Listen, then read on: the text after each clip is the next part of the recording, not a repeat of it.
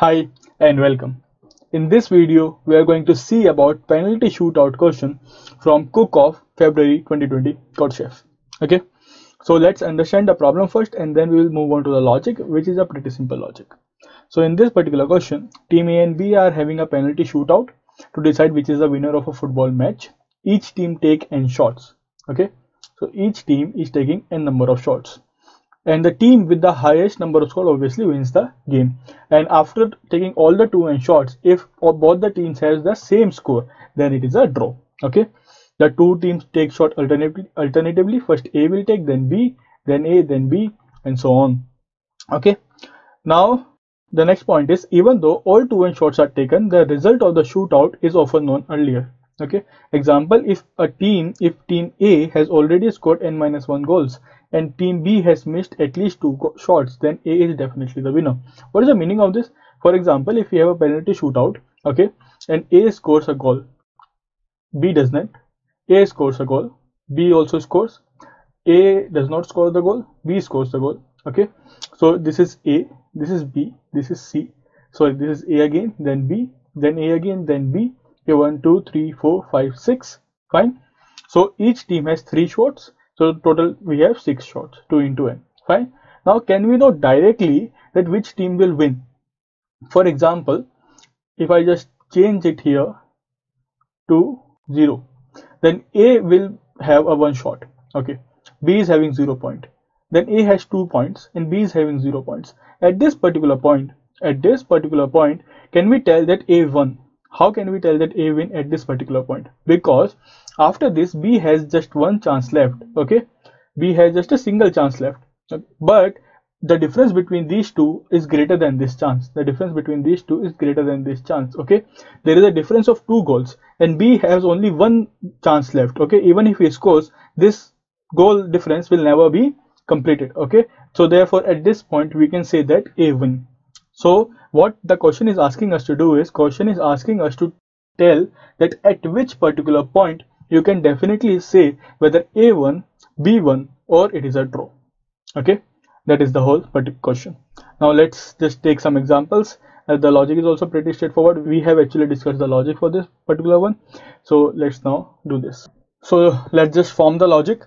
So A and B both have uh, initially let's say NA 5 chances and B also have 5 chances. Correct? In the first chance A scores a goal. So let's uh, keep it count A scores a goal. Okay? Count b b also scores a goal. Correct? B also scores a goal. Fine. So at this particular point can we say uh, who is the winner or is it a draw? So they are both equal. There is no difference. So we cannot say anything right now. At count 3 a scores a goal but b doesn't. So can this particular point can we say at count 3 can we say when there is 2 1 uh, can we say that a win? So can we say that the difference is nothing but just one okay? The difference is nothing but one. And b has how many chances left? B still has four chances left. He has three chances and b has four chances. If b scores for all chances and three and a does not score so that means b will win. So at this point we cannot say who is winning okay? At fourth chance b does not score a goal so now three chances are left for both of them. At fifth a scores a goal. So a become three. There are two chances left for a.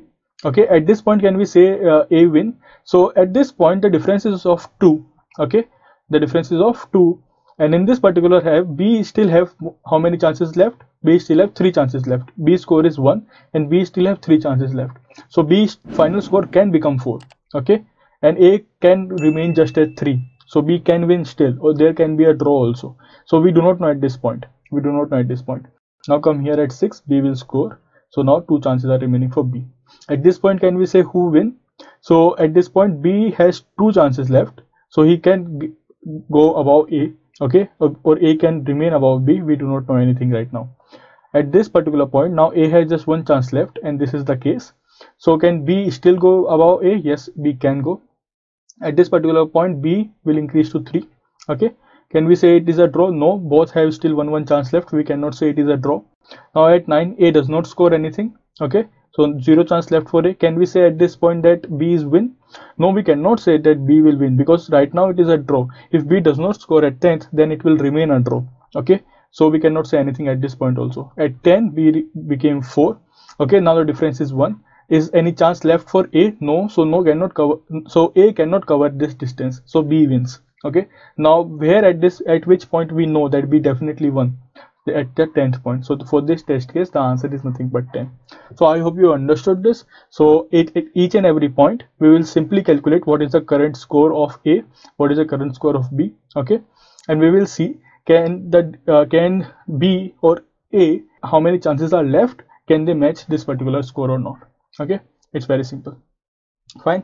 So if uh, a score is nothing but 2 and b score is nothing but 1 and b chances are left are 3 so is 2 greater than 3 plus 1 no 2 is not greater than 3 plus 1 okay? That means b can still overtake 2 b can still overtake a at this particular point we cannot say anything. But if a is 4 and b is 1 and chances of b remaining are just 2 so 4 is greater than 2 plus 1 that means b whatever a hap happens to a b cannot cover this much distance. B cannot cover this much distance. Okay?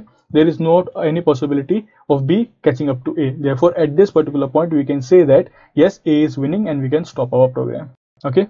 So this is the particular logic for this question okay? Just calculate the values of a calculate each at each point calculate the value of a calculate the value of b okay? Now just calculate this point whether how many chances are remaining. See that we we already have the variables for that how many chances are remaining. That many chances plus the current score okay? If we can go that many chances plus the current score okay? If that they are enough then we cannot say at this particular point who is the winner? But if they are not enough then we have to get the final answer that we have to print that yes at this stage we know who is the winner.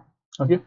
So let's just see the code. It is a very straightforward code. So in this code uh, we have taken n a string input fine. Then a chance a chance b both are initialized with n. Short a short b to know at this particular point what is the value of a and what is the value of b the score of a score of b. Fine. A loop running from 0 to less than 2n if it is an even that means a is short and if it is odd that means b is currently uh, scoring or b is currently taking the shot okay?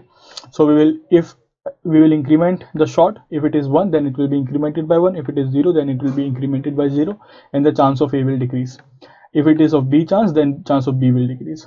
Now we will just see this short a is greater than short b plus chance b or we can it is same. We can do short we can find the difference between a and b and we will compare it with the chances left for b. Okay? Find the difference between b and a and compare it with the chances left for a. Fine. Print i plus 1 i plus 1 because we are starting with the zeroth index. And finally if the short a equals to short b and end we are at the last position and there is no difference the difference is zero then at that particular point we will simply tell it is that means it is a draw and we will print i plus 1 where we do not have to print who won a b or draw. We just have to print the point at which we know that who is winning. Okay? So this is the whole code for this particular case. A very straightforward question. We just need to find the difference and compare it with the chance left. Okay? Thank you.